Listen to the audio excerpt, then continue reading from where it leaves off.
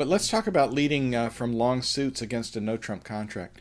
Uh, that's the subject that we're on. I'm going to be on no trump no trump leads for the, at least this week and next week. And when you have nothing to go by from the auction, your partner hasn't bid a suit. I mean, last week we talked about leading partner suit. Um, generally, you lead your longest suit, and uh, when you have uh, a long suit, uh, and if the suit has a three card or longer sequence, you lead the top card. Uh, a sequence has wonderful um, potential to promote winners. Uh, in this case, we're, we're hoping to promote winners in the spades this way. If you uh, look at all the cards around the table, you can see that your partner can't help you out much, but you can see that if um, if declarer if declare let's see if declarer plays uh, the cards and maybe they even hold up for a bit, you you have the potential of developing four tricks in the suit. So we all know about leading the top of what we call a solid sequence. Let me show you some of the other sequences that count. One of the differences between no trump leads and trump leads is that your sequence needs to be three cards, but it doesn't have to be a solid three cards. Let me show you an example. Here's a lead against three no trump where you have the queen jack 9. Now the third card is off by one. Queen jack 10 would be a solid three card sequence. But when it goes Queen Jack 9, we give it a different name. It's called a broken sequence. And let me show you how that can play. If we lead the top of our broken sequence against uh, this 3 no trump contract, um, you can see how you do have the potential to develop some tricks. Suppose Declarer wins the first trick with the ace. um, now, look at the situation here. If um, if if we lead the suit at this now the, one of the differences between having a solid sequence and a broken sequence is that oftentimes we can't continue the suit. Um, now, right now, Declarer has won the first trick, and if Declarer plays the suit, uh, if Declarer plays some other suit for a while, and say our we get in again and we win a trick, we cannot lead the spades without giving up an extra trick. Notice that if I win the next trick and I lead the five of spades or the seven or the nine, one of my small spades, declarer now wins a trick with the ten. Uh, if I lead my jack, declarer wins with the king and their ten is high. In other words, declarer, if I lead the suit now, declarer gets two more tricks. So when you have a broken sequence, often your partner has to be the one to lead the suit. So you can trap this 10. Declarer is entitled to one trick. They're entitled to the king, but they're not entitled to the 10 when you have the jack sitting over it. So sometimes that will freeze the suit for you. And if you don't continue a suit like this, that's usually a signal to partner that they want you to continue the suit. Now let me show you another kind of sequence that we often have and that we can lead from. The King Jack 10, in this case, you have a hole between the first card and the second card, but you still have two touching honors here, the Jack and the 10. This is what we call an interior sequence.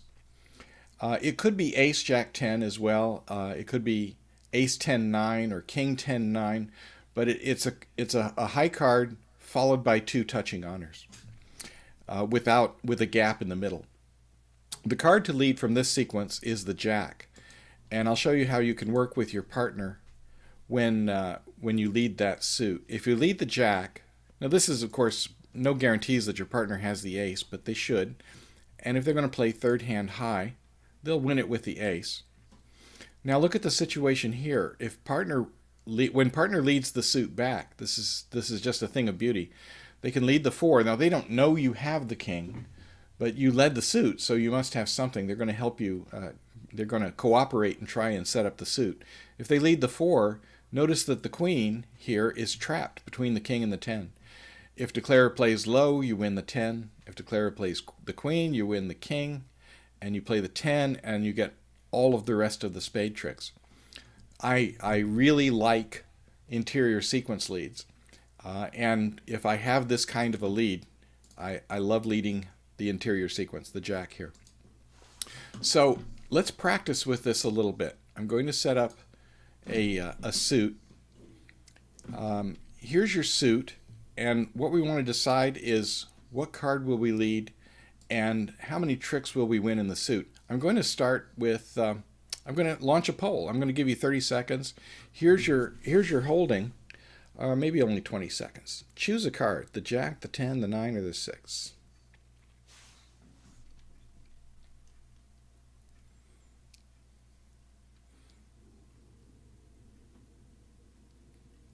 Okay, that's nearly everyone. All right, I'll share, share the results. Nearly everyone led the jack, which is correct. Um, when you have a solid sequence like this, you want to lead the jack and um, declare. Notice that they have the king on one side, the queen on the other. Uh, they are always entitled to one trick, but uh, they will they will get their one trick, but you'll you'll set up three for your side. Let's look at um, another example. Here's your holding, Queen Jack 9, 6, 3. So let's do a poll on this one. It's a 3 no trump, of course, and let's see. Now let me. Doop, doop, doop, doop. Okay. Oh, I see how to do it. All right, here we go. Number two. You hold the Queen Jack 963. Choose a lead.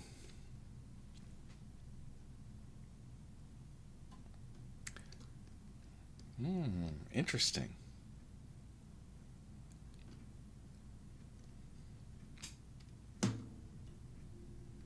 Okay, that's nearly everyone. 20 seconds seems long enough. Um, let's have a look at this one.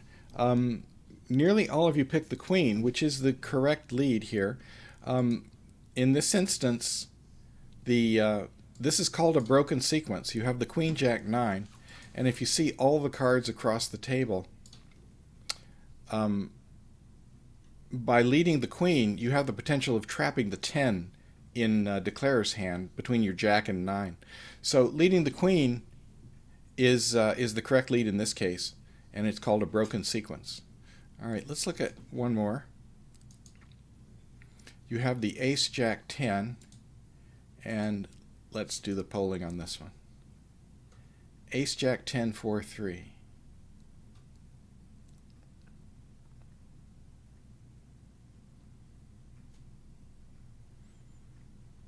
okay everyone's um, getting quick at this let's look at the results um, nearly everyone picked the jack one picked the 10 but the jack is the uh, is the correct uh, response. And let's look at how that can work. If we show all the cards leading the jack, we have the potential here um, to get an extra trick. Notice that if, uh, if we lead the jack and declarer plays the 2 from the dummy, it will lose to the queen. But now, when either one of you gets in again, your ace can swallow up the king and your 10, and you take four tricks in the suit. Um, it, of course, I assumed that uh, Declarer would not play the king from the dummy, and, and they might play the king from the dummy. If you lead the jack and Declarer plays the king, well, it will win the trick, of course. Uh, but Declarer is always entitled to one trick in the suit. They're not entitled to two. If you're, you cannot lead the suit now. Uh, your partner needs to lead it because if they can lead a spade, then the queen is now trapped between the ace and the ten, and then you will still get all four of the remaining spades in the suit. All right, let's do one more. Um, let's see. Before I do that, hang on a second. Let me put the hand up. Here's the King, Queen, Jack, 8, 3. Ah. What's the lead? Three no trump is the contract. Hmm. Yeah, I think everybody knows this one. All right let's everybody led the king. Okay, good.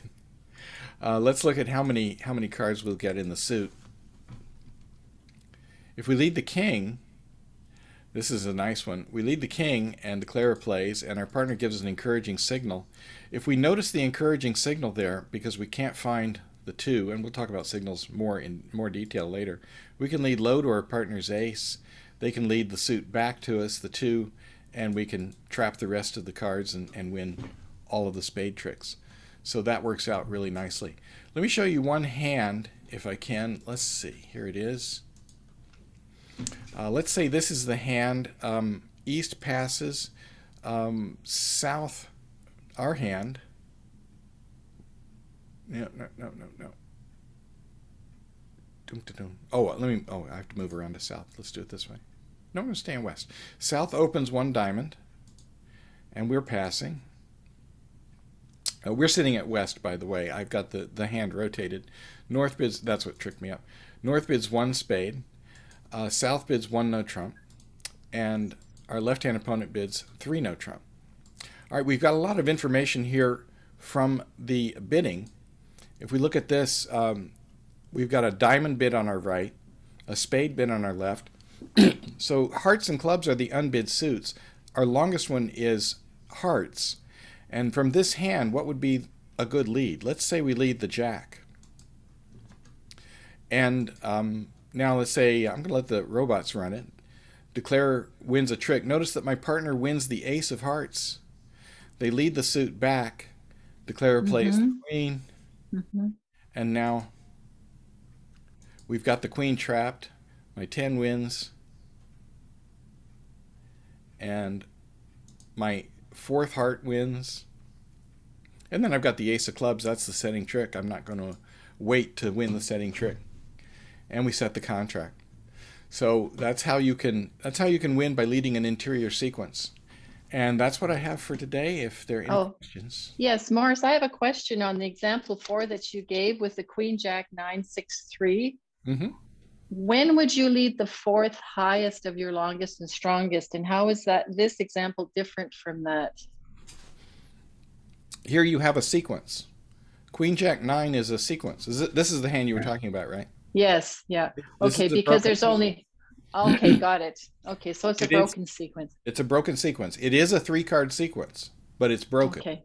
Right. All right. So you're okay, missing the thank- 10. That's all. Mm-hmm. Okay, thanks. I see that now. Thank you. Mm-hmm. Mojo, I have a question about the fourth quiz question where my hand had the king, queen, jack, mm-hmm.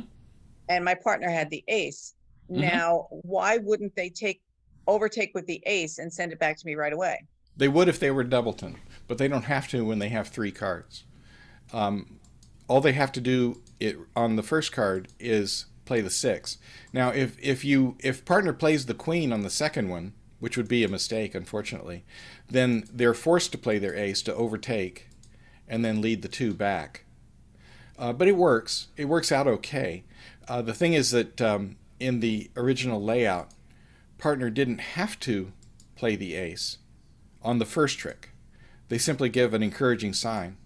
And if partner um, didn't have the jack, for one thing, if they had the 10, queen 10 instead of queen jack, now we could lead a small card over to partner's ace. Holding the queen, it's okay in this instance. But if partner were doubleton, they would have to overtake. And as a follow-up, supposing instead of the six, they had a three, you know, or a low card. The, the three and the two? Yeah. I think I can do that. Let me see if I can. Uh, uh, yeah, let's switch. Because then it's not an encouraging sign.